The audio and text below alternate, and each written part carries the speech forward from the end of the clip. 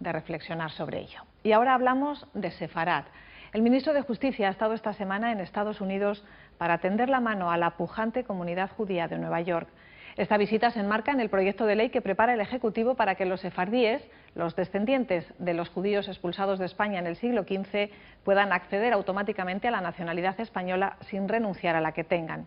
Esta noche en Los Reporteros queremos acercarnos a Sefarad, que es como la Biblia identifica a la península ibérica y que da nombre a los sefardíes que viven entre nosotros y fuera de nuestras fronteras. Conoceremos la comunidad de Málaga, la más numerosa de Andalucía, y también bucearemos en una parte de nuestra historia judía durante siglos silenciada y manipulada. La primera oración del día ha comenzado con el alba. En la sinagoga de Málaga, los salmos en hebreo envuelven un ritual íntimo y metódico.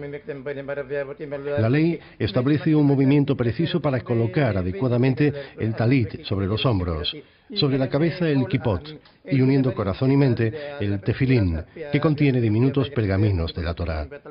En esta liturgia tan común en la cultura hebrea hay sin embargo algo muy sutil, la entonación del rezo. La misma que hace 500 años salmodiaban los rabinos en las sinagogas de Lucena o de Toledo, en la tierra de Sefarad, el hogar perdido del pueblo judío.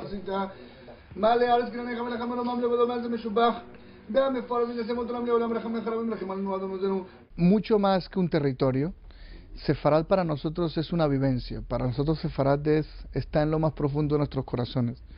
Sefarad eh, eh, casi que representa lo que somos. Sefarad no solo es importante para los judíos, porque bueno, Sefarad fue una época brillante de convivencia entre las tres culturas en España. Sefarad fue el centro del, del mundo judío, fue cuando los judíos salieron de Israel, de Jerusalén, por la destrucción que llevó a cabo Roma. El hogar judío se implantó en Sefarad. Y en el corazón de ese hogar, Córdoba. Y en Córdoba su judería, la más extensa y sugerente de España, y en su apacible revuelo de callejuelas, una casa, la casa de Sefarad, donde la memoria encuentra un relato convincente, coherente y emocionado. Una casa en la que estamos pagando voluntariamente y con agrado una deuda contraída con parte de nuestra memoria. Una memoria ocultada, manipulada, olvidada, enterrada o distorsionada. Hay una larga historia de olvido premeditado. Es decir, que entre la trampa de la historia y la trampa del sentimiento, al final la gente dice, ¿pero hubo judío en España?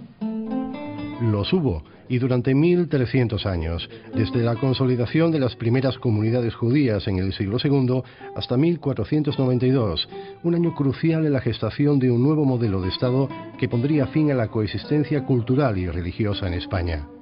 Hay un momento fundamental que se plantean que hay dos grupos sociales, nuestros judíos y nuestros moriscos, que no encajan en el proyecto de Estado que se está construyendo un solo país, una sola administración, un solo poder, una sola religión, una sola lengua. La diferencia entre ambos es que nuestros moriscos han sido vencidos y que nuestros judíos son vecinos. Y entre un vencido y un vecino el odio se distribuye de diferentes formas. Se odia mucho más a un vecino que a un vencido. Aunque las cifras varían, el cálculo más ponderado establece que alrededor de 160.000 sefardíes abandonaron España a finales del siglo XV, un amargo destierro que se sitúa entre los dos grandes hitos que han marcado la historia del mundo judío.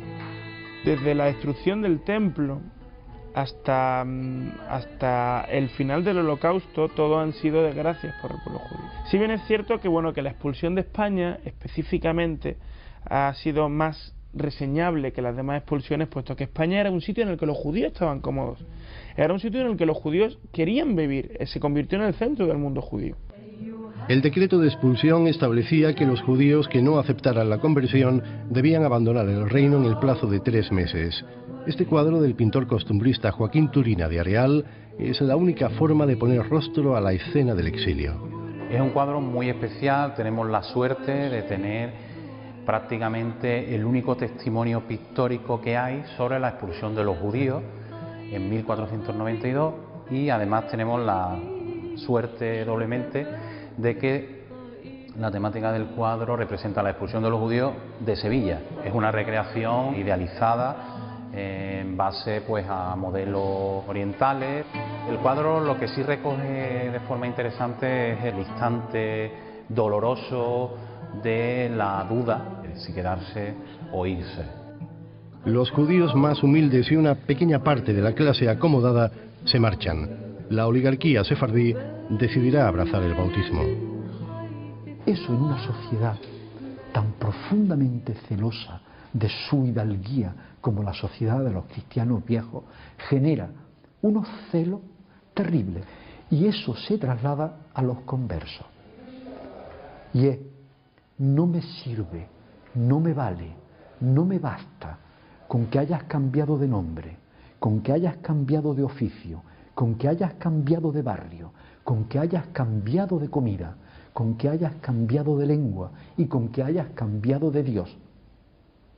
No me sirve ni me basta. No confío en ti. Y ahí juega un papel fundamental el Santo Oficio, la Inquisición. El Tribunal de la Inquisición nació para depurar al falso converso, pero hará algo más. Extenderá una sombra de sospecha y división social que ha marcado como una mordaza el devenir histórico de la España contemporánea. Una influencia larga y mezquina que aún reconocemos en expresiones comunes y cotidianas. Tirar de la manta o colgar un San Benito encierran un origen aterrador. La expresión tirar de la manta es una, amenaza potencial.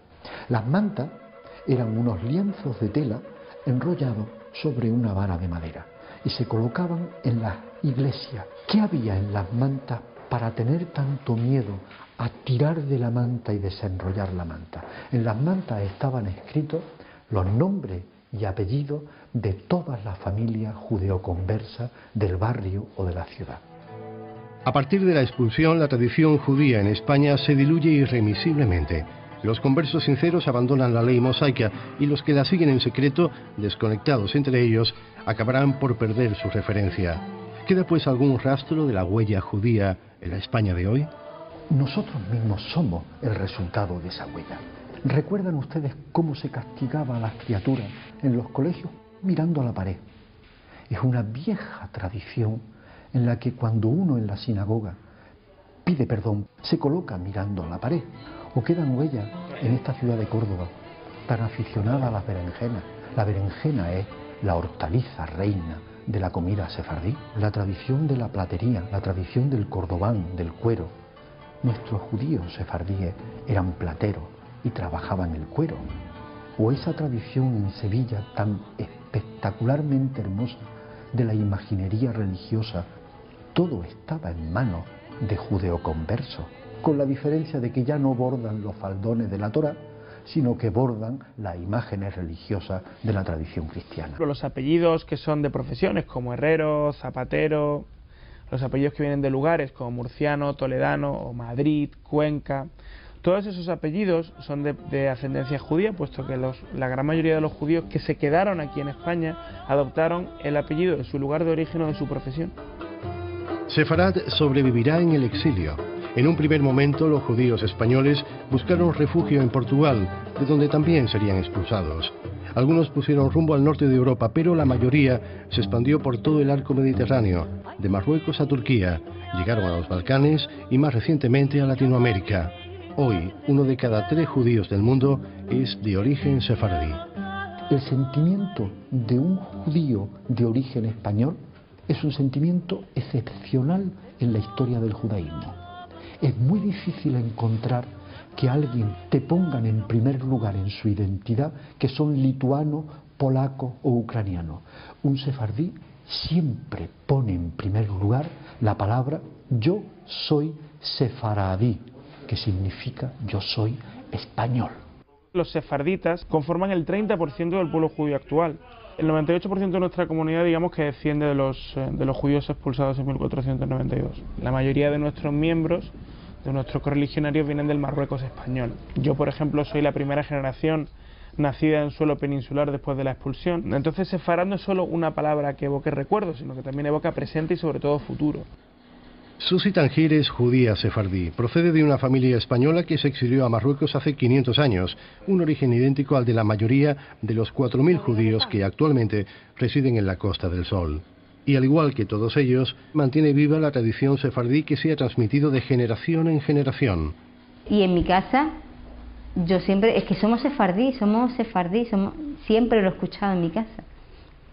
Y es eso, es la forma de rezar, las costumbres culinarias. La diferencia entre sefardí y ashkenazí son las costumbres.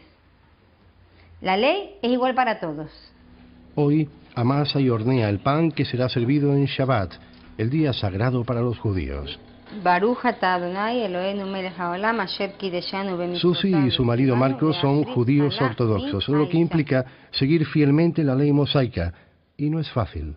Es difícil ser judío. Hay un sobreesfuerzo. Lo que pasa es que termina uno acostumbrándose y ya lo ve como uno como una cosa cotidiana. Ser judío es difícil porque normalmente pensamos que en el judaísmo hay 10 normas, eh, las 10 mandamientos, y verdaderamente no es así. En el judaísmo hay 613 normas eh, básicas.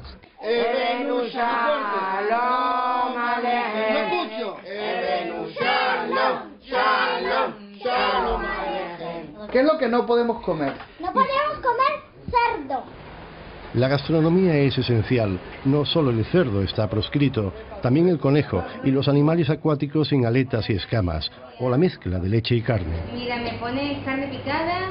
Es el precepto kosher, que no solo establece qué alimentos están permitidos y cuáles no, sino que determina cómo elaborar cualquier ingrediente, desde la crema de cacao al vino de Rioja.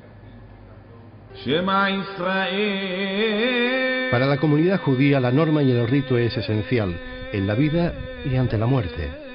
Leví acude hoy al cementerio judío de Casa Bermeja. Ella es la encargada de cuidar a los enfermos en su agonía y más tarde dirige la purificación ritual del cuerpo que va a recibir sepultura. Muchas veces el doctor puede decir, mira, este hombre ha dejado de respirar, pero tenemos la seguridad y la certeza de que en un momento, justo antes de entregar el alma, eh, hay un momento que capta y que y entonces oye la Shema, oye, oye que le están rezando este rezo que es tan, tan importante para nosotros. Somos alrededor de unos 4 millones de sefardíes en todo el mundo. Y cuando miramos hacia nuestras tradiciones, cuando seguimos la liturgia que hemos heredado nuestros padres y nuestros abuelos, es la misma que se hacía en España hace 500 años. Hablamos el mismo idioma que se hablaba en España hace 500 años es el ladino, el castellano antiguo que los sefardíes llevaron al destierro consigo y que a día de hoy se resiste a desaparecer. El ladino evidentemente ha evolucionado. Mis cuatro abuelos son del Marruecos español, mis padres nacieron en el Marruecos español también. Lo que hablamos es una derivación del ladino que se llama jaquetía. Se podría llamar como, no sé, como el andaluz del hebreo, ¿no? El rabino de la comunidad judía malagueña acude hoy a la tienda de Jacob para supervisar que la carne se ajusta al precepto kosher. Y el jaquetilla Suena así. ¿Tú sabes lo que es esto? ¿No? Esta pieza es pecho. Esto, una dafina, no vea. Tú metes una dafina esto. las dafinas que habían en Tetuán. ¿La dafina de tu madre que era enjaguada o acdeada? No, mi madre las hacía enjaguada. A veces salía enjaguada, a veces salía acdeada. A lo mejor, ¿sabes lo que Después del Shabbat, Después de comerse una dafina así bien acteada. Una buena siesta. Una buena nazá que no vean. ¿Te acuerdas esas fiestas de Purín que habían en Tetuán? Lo mejor del Purín, los, la hajita, la hajita que le dan a los niños. Se, se jairean que no vean. Pasado, presente y futuro están en la base del proyecto de ley que prepara el gobierno y que permitirá a los judíos que acrediten su ascendencia sefardí obtener la nacionalidad española. Una propuesta bien acogida, aunque con matices. A mí me parece la medida magnífica magnífica. Y yo estoy emocionado con la medida porque me llegan los ecos de quienes están realmente emocionados con la medida. En Estambul, en Salónica, en Jerusalén, algunos en Fez, o en Tetuán, o en Tánger, o en Montreal, o en Buenos Aires. Y están emocionados.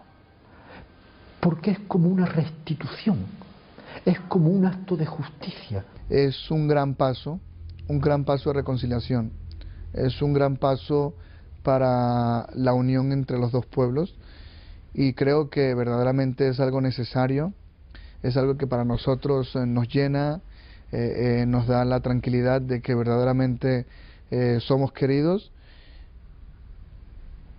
Es un comienzo. ¿Cuál es mi mirada crítica? ¿Por qué se hace ahora? ¿Qué esconde la medida? ¿Cuánto de propaganda hay? Unos meses antes de las elecciones europeas. Hoy es sábado. Por gentileza de la comunidad judía de Málaga podemos anticipar lo que no habríamos podido grabar en un día, el Shabbat, dedicado al descanso. La Torá, el libro sagrado, será el centro del rezo más importante de la semana y la adafina, el guiso judío por excelencia, estará presente en cada mesa donde cada alimento será bendecido por el padre de familia.